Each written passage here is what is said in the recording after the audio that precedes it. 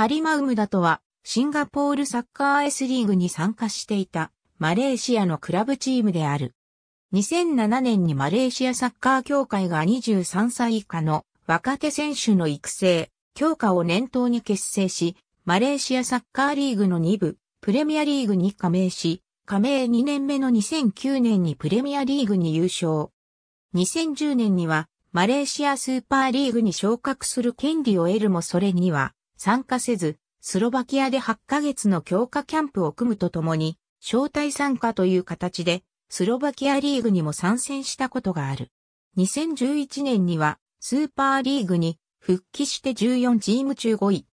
その年、マレーシアサッカー協会とシンガポールサッカー協会は、それぞれの23歳以下を軸とした若手選手育成のため、2012年から相互に国内リーグへ参加することを発表し、マレーシアからは当チームが派遣されることになった。なお、マレーシアリーグにはそのサテライト相当の19歳以下を中心とした B チームが参加している。名目上、23歳以下、19歳以下が基本とはなっているものの、必ずしもその国の年齢別代表ナショナルチームではなく、マレーシア協会が運営する若手育成のためのクラブチームという位置づけである。